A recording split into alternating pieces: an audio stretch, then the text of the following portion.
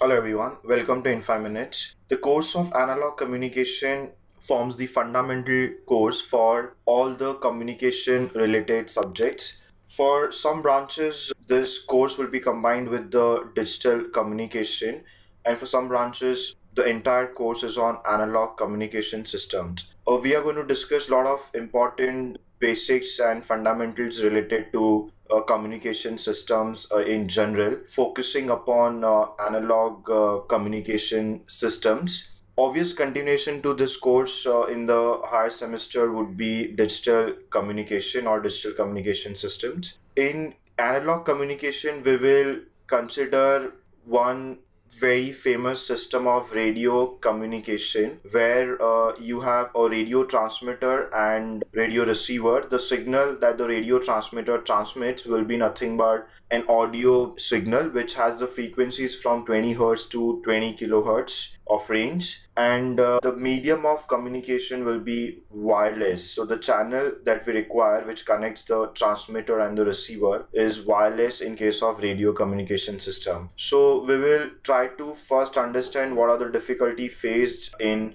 such type of uh, system and how do we overcome them uh, so that we have a successful communication system where you have a transmitter which is sending information to the receiver through wireless channel. We will basically discuss uh, various analog modulation techniques uh, in the first part of this course, uh, which are going to be amplitude modulation, frequency modulation, and phase modulation modulation is very important process which is must in all the wireless communication systems. Towards the end of the course uh, we will be discussing conversion of analog signals to digital signals simply because after we have studied analog communication the next course uh, will be of digital communication. So before the digital communication course can can start it's very important to understand how analog signal is uh, converted to digital signal and that is something we study in the last couple of modules of analog communication. Now how in 5 minutes videos will help you to learn this uh, particular course in one of the best ways.